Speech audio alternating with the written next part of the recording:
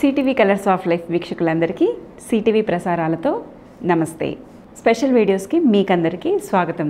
ఈ స్పెషల్ వీడియోస్లో అనేక రకాలైనటువంటి ఆసక్తికరమైన అంశాలు అంటే మనకి తెలియకుండానే ఎన్నో రకాలైనటువంటి కొన్ని కొన్ని శక్తులు మనకి ఆ, ప్రభావాల్ని చూపిస్తాయా? అలాగే పారానార్మల్ ఫోర్సెస్ పారానార్మల్ యాక్టివిటీస్ ఇలా అనేక రకాలైనటువంటి ఆసక్తికరమైన విషయాలను తెలుసుకుంటున్న ఈ క్రమంలో మనం తెలుసుకోబోయే మరొక అంశం ఏంటంటే హాంటెడ్ ఆబ్జెక్ట్స్. హాంటెడ్ ఆబ్జెక్ట్స్ అంటే ఏంటి? అసలు దెయ్యాలు అనే వాటికి ఈ హాంటెడ్ ఆబ్జెక్ట్స్కి ఉన్న సంబంధం ఏంటి అనే విషయాన్ని గురించి లలిత కళా సరస్వతి బిరుదాంకితురాలైనటువంటి డాక్టర్ శ్రీమతి రాజేశ్వరి చంద్రజావాడపల్లి గారిని అడిగి వివరం తెలుసుకునే కంటే ముందుగా ఏం చేయాలో తెలుసు కదా మీకు? వీడియోని చూస్తూనే లైక్ చేసేయండి. అలాగే ఫస్ట్ టైం మన ఛానల్ని సబ్స్క్రైబ్ చేసుకుంటున్న వాళ్ళు ఆల్ అనే ఆప్షన్ యాక్టివేషన్లో ఉందా లేదా అని ఒకసారి చెక్ చేసుకోండి. అప్పుడు మాత్రమే మన ఛానల్లో వస్తున్న ప్రతి ఒక్క స్పెషల్ కంటెంట్ని మీరు మిస్ అవ్వకుండా ఉంటారు. నమస్తే అమ్మ. నమస్తే అమ్మా. అమ్మ ఈ స్పెషల్ టాపిక్స్కి మన సబ్స్క్రైబర్స్ మనకి చాలా సపోర్టివ్గా ముందుకు తీసుకెళ్తూ ఉన్నారు. అలాగే వాళ్ళకి వస్తున్న అనేక రకాలైనటువంటి డౌట్స్ని కూడా మనకి కామెంట్స్ రూపంలో మాకు ఇది చెప్పండి మాకు నిజంగానే ఇలా జరిగింది మేము లైవ్లో వచ్చి చెప్తాము అనే సబ్స్క్రైబర్స్ కూడా మనకి చాలామంది ఉన్నారు. సో అది మనం ఇంకా ఫ్యూచర్లో వచ్చే ఎపిసోడ్స్లో మనం ఇంక్లూడ్ చేయాలని అనుకుంటున్నాము. అయితే ఈ క్రమంలో ఇవాళ మనం తెలుసుకోబోయే మరొక అంశం ఏంటంటే అది హాంటెడ్ ఆబ్జెక్ట్స్ అంటే ఏంటి? హాంటెడ్ ప్లేసెస్ విన్నాము హాంటెడ్ బిల్డింగ్స్ ఇట్లాంటివి విన్నాము. మరి హాంటెడ్ ఆబ్జెక్ట్స్ అంటే ఏంటి అసలు? ఒకసారి వివరించండి. డెఫినెట్గా హాంటెడ్ ఆబ్జెక్ట్స్ ఉన్నాయి. వాటి వల్ల చాలా చాలా జరుగుతాయి. సిటీవీ కలర్స్ ఆఫ్ లైఫ్ వీక్షకులకు నమస్కారం అండి. మీ అందరికీ మనందరి ఇంట్రెస్టింగ్ టాపిక్స్ వేదిక స్పెషల్ వీడియోస్కి పేరు పేరున స్వాగతం అండి. మనం అందరం కలిసి చాలా విషయాలు మాట్లాడుకుంటున్నాం చాలా విశేషాలను చెప్పుకుంటున్నాం నిజానిజాలు నిక్కచ్చిగా మాట్లాడుకుంటున్నాం. దీనికి చాలా ధైర్యం కావాలి. నాకున్నదే అదండి. ధైర్యమే నా పెట్టుబడి. నాకున్నటువంటి ఆస్తి ఆత్మగౌరవం ధైర్యం ఈ రెండే. వీటితోనే ఇక్కడ దాకా లాక్కొస్తున్నాం. అట్లాగే చాలామంది తమకు జరిగినటువంటి నెగటివ్ ఎక్స్పీరియన్సెస్ లైవ్లోకి వచ్చి చెప్తామంటున్నారు. కనుక ఈ విషయం గురించి ప్లాన్ చేద్దామని మేము డిసైడ్ చేసుకున్నాము. ఎందుకంటే దేవుణ్ణి ఎంత ఎక్కువగా నమ్ముతారో దెయ్యాలని అంత ఎక్కువగానూ నమ్మే సొసైటీలో మనం ఉన్నాము కేవలం ప్రతిదాన్ని కూడా ఇది మూఢనమ్మకం వేస్ట్ వీళ్ళకి పని పాట లేదు ఇద్దరు కూర్చుని ఏదో ఒకటి చెప్తుంటారు అనేటటువంటి వాళ్ళకి ఈ అనుభవాలని గనక షేర్ చేసినట్లయితే వాళ్ళకి ఒక జవాబు చెప్పినట్టుగా అవుతుంది. అందువలన దీని గురించి మేము ఆలోచిస్తాము. ఆల్రెడీ ఇలా అనుభవాలు చెప్పడానికి సిద్ధంగా ఉన్న వాళ్ళతో మేము ఒక కార్యక్రమాన్ని రూపొందిస్తూ ఉన్నాము. తప్పకుండా మీ ముందుకి త్వరలోనే వస్తాము. ఇప్పుడు ఆబ్జెక్ట్స్ ఆబ్జెక్ట్స్ని అంటే వస్తువుల్ని ఎంచుకుంటాయా? దెయ్యాలు డెఫినెట్గా ఎంచుకుంటాయి. ఎందుకంటే అవి ఎంచుకునే వస్తువులు ఒక్కోసారి సిల్లీ థింగ్స్ ఒక్కోసారి చాలా పెద్దవి ఉంటాయి. అందుకనే ఎప్పుడు కూడాను చాలా మనకి మనకి తెలియకుండానే ఆ హాంటెడ్ ఆబ్జెక్ట్స్ని మనతో పాటు క్యారీ చేసుకుని తద్వారా వచ్చే సమస్యలను నెత్తికెక్కించుకోవడం ఒక లెక్క. ఇంకొకటి ఏంటంటే తెలిసి తెలిసి కొన్నింటిని తెచ్చుకోవడం ఒక లెక్క. ఒక్కోసారి పురాతనమైన వస్తువులు అమ్మే చోట ఇలాంటి హాంటెడ్ ఆబ్జెక్ట్స్ కొన్ని మనకు తగిలే అవకాశం ఉంది.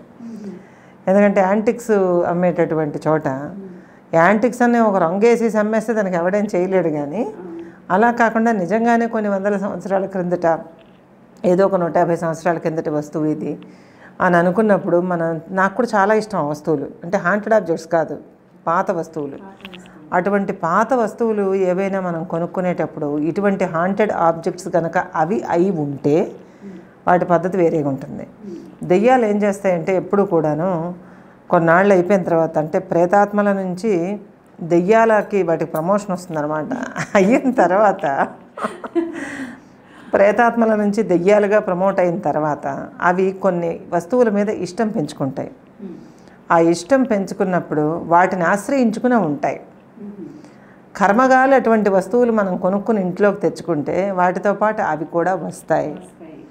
అలాంటి వాటిల్లో కొన్ని కొన్ని చోట్ల రిస్ట్ వాచెస్ తర్వాత ఒక్కోసారి కొన్ని పూసల దండలు కొన్ని కొన్ని చోట్ల రోడ్ల మీద వేసి అమ్ముతూ ఉంటారు పూసల దండలు. అలాంటి చోట్ల తర్వాత కొన్ని అది మనకి ఊహించడానికి వీల్లేని వస్తువులు ఉంటాయి అలాంటివి. అలాగ దెయ్యాలు ఆవహించుకుని ఉన్నటువంటి పుస్తకాలు కొన్ని చోట్ల. పుస్తకాలు పుస్తకాలు కూడాను. చాలా చీదర పెడతాయి అవి. అలాంటి వస్తువులతో మన ఇంట్లోకి వచ్చేసినటువంటి నెగటివ్ ఫోర్సెస్ అంత వేగం వెళ్ళవు. అటువంటి వాటిని మళ్ళీ ఎక్కడి నుంచి తీసుకొచ్చామో అక్కడికి తీసుకెళ్ళి పెట్టేయాలి అవి. పెడితే తప్ప వదలవు. అంటే అక్కడ డబ్బులకి నీళ్ళు ఎదుర్కోవాల్సిందే. కొని తెచ్చుకుంటాం కదా అది ఎక్కడ వదిలించుకోవాలి? మళ్ళా ఎక్కడి నుంచి తెచ్చామో అక్కడే వదలాలి వాటిని. పెంకెదయ్యాలు ఉంటాయి కొన్ని. దీని గురించి ఏంటంటే మూడే మూడు ముక్కల్లో చెప్పాలంటే ఆబ్జెక్ట్స్ని ఎంచుకుంటాయి అనడానికి. ఒక ఒక వంద సంవత్సరాల క్రిందట ఒక పెద్ద ఆయనకి పల్లెటూళ్ళలో మా మా వైపు పల్లెటూళ్ళలో ఒక పూస దొరికిందండి. ఒక పూస ఇంత పూస దొరికింది. పొలం నుంచి ఇంటికి వచ్చేస్తుంటే పూస దొరికింది. ఆ పూస ఎండలో మెరుస్తూ ఉంటే ఇదేదో బాగుంది.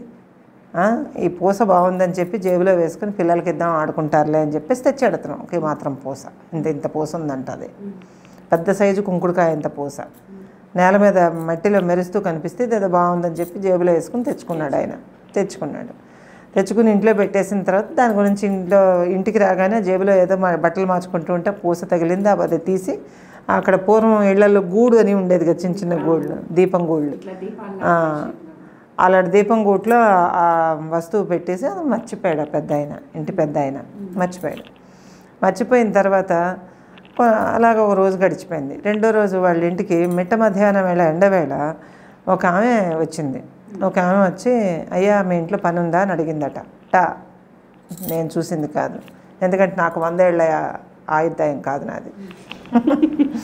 అడిగిందట పని ఉందా? అంటే ఏం పని చేస్తావు నువ్వు? అని అంటే ఏ పనైనా చేస్తాను నాకు పని ఇప్పించండి. కావాలని వెతుక్కుని మీ ఇంటికి వచ్చాను పని ఇప్పించండి. అని అంటే సరే ఏదో పని చేద్దుగానే ఇంట్లోకి రాను. దివాణాలు కదా ఆ రోజుల్లో పెద్ద పెద్ద ఇళ్ళు వాకళ్ళు ఇళ్ళు వాకళ్ళు పెద్దవి. సరే ఏదో పని చేసి పడి ఉంటుందిలే ఆడ మనిషి కదా అని ఇంట్లో చేర్చారు. ఏ పని చెప్పినా క్షణాల మీద చేసేసేది. ఇది నిజమండి జరిగింది. నీళ్ళు తోడి గంగాళాలు నింపమ్మా అని అంటే గబగబా గంగాళాలు ఐదు క్షణాల్లో నింపేసేది. ఒక మనిషి నీళ్ళు తోడాలంటేనే ఒక బొక్కెనకి చాలా టైం పడుతుంది బకెట్తో నింపాలంటే. ఆ, రోజుల్లో పెద్ద పెద్ద ఇత్తడి గంగాళాలు ఉండేవి. ఆ గంగాళాలు నింపమ్మా అంటే ఐదు నిమిషాల్లో ఆ మనిషి లోపలికి వెళ్ళి బయటకు వచ్చి నిండుగా ఉండేవి. అప్పుడే నింపేసావా అంటే ఎంతసేపు అమ్మా సరే ఈ వాకలంతా చిమ్మేసి ముగ్గులు అవి పెట్టి. వాకలంతా టకటక చిమ్మేసి ముగ్గులు అవి పెట్టి. రెడీ. నాకు దొరికితే బాగుండాలి అడిది పని మనుషులతో పని ఉండదు. అదే కదా. ఏదైనా సరే కొబ్బరి చెట్టు డొక్కలన్నీ పడినాయి. ఆ డొక్కలన్నీ ఎండి ఎండిపోయిన ఆకులు డొక్కలు నిన్న గాలి వానకు పడినాయి. మొత్తం అన్నీ చేసేయమ్మా అని అంటే రెండు క్షణాల్లో క్లీన్. అలా చేసేస్తూ ఉంటే ఇంటి ఆయనకి ఇంటి ఆవిడ చెప్పిందట. ఏమిటండి పని మనిషి చూస్తేనేమో ఏదో తేడాగా ఉంది? క్షణాల్లో బొక్కెంత నింపేస్తున్నది? ఎక్కడి నుంచి నీళ్ళు ఎప్పుడు తోడుతున్నది? ఎప్పుడు చేసేస్తున్నది? అందరం తెల్లవారిన అప్పట్లో నాలుగు గంటలు లేచేవారు కదా. నాలుగింటి కోడికోత లేచేటప్పటికే పనులన్నీ అయిపోయి ఉంటున్నాయి. ఎప్పుడు చేస్తున్నది? ఎప్పుడు వస్తున్నది? ఏమిటి చేస్తున్నది? ఎలాగండి ఇది అని అడిగితేను అప్పుడు ఆయన ఏదోలే పల్లెటూరు మనిషి కదా కాస్త చులాగా చులాగా చేసేస్తున్నది పనులు అన్నాడంట. అంటే కొన్నాళ్ళు అయిన తర్వాత ఆ ఇంటి కోడలికి ప్రసవం సమయం. ఆవిడ ప్రసవించి బాలంత. బాలంత రూమ్లో ఈమెని పని ఆమెని తోడు పడుకోమన్నారట. సరే తోడు పడుకుంది. తోడు పడుకుంటే అర్ధరాత్రి వేళ ఇంటల్లుడు గారు వచ్చారు. ఎక్కడికో పోయి వచ్చాడు వాడు రాత్రి. వస్తే పదకొండు గంటలు అయితేనే అప్పుడు అర్ధరాత్రి అయినట్టు లెక్క ఆ రోజుల్లో. అంతే కదా. పొద్దుపోయిందంటే రాత్రి అయిపోయినట్టే. అలాగా ఆ బాలంత పాపం బిడ్డ ఉయ్యాల్లో ఉంది బాలంత ఉన్నది ఆముదం దీపం వెలుగుతూ ఉంది ఒక మూల. ఈవిడ పడుకుంది. బాలంత డెలివరీ ఆవిడ పడుకుంది పని ఆవిడ పడుకుంది. పడుకుంటే వీధి కొడుతున్నారు ఎవరోనూ దీపం కొడి వెనక్కి వెళ్ళిపోయింది అనమాట దీపం కొడి వెనక్కి వెళ్ళిపోయింది జాగ్రత్తగా వినండి. దీపం కొడి వెనక్కి వెళ్ళి చీకటి కమ్ముకుంటూ ఉంది. ఆ బాలంతా అన్నదట. ఆవిడ పేరు పేకి. పని ఆవిడ పేరు. ఇదేం పేరే అని అంటే మా పేరు అంతే బాబు నన్ను ఏం చేయమంటా ఉందంట. అవున పేకి ఆ దీపాన్ని కొంచెం ఎత్తిరించే ఒత్తి ఎత్తిరించి కొంచెం దీపం వెలుగొస్తుంది. మరీ చీకటిగా ఉంది అని అన్నదట ఆవిడ పాపం. ఇప్పట్లో ఏసీలును కరెంట్లు కావు కదా.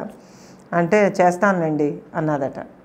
అని పడుకునే ఉందంట. ఏమీ ఇంకా చేయలేదు అంటే చేసేసానుగా అన్నదట.